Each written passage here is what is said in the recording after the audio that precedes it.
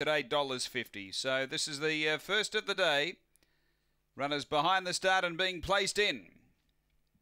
Gawler Greyhounds on a uh, Friday. The light is activated. We're set to race. Ready to run.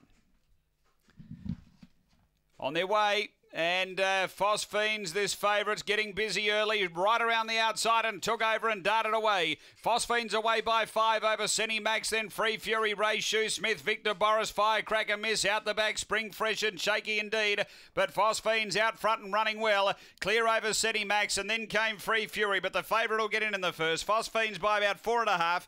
Second, Senny Max. Third, home Free Fury. Uh, then Victor Boris behind those. Ray Shoe Smith, Spring Fresh from Firecracker Miss. And Shaky indeed was back at the end. The time here is around 22 and 80. After the running of race number one, uh, she flew out today, got around them quickly, set up a big lead, and that was it.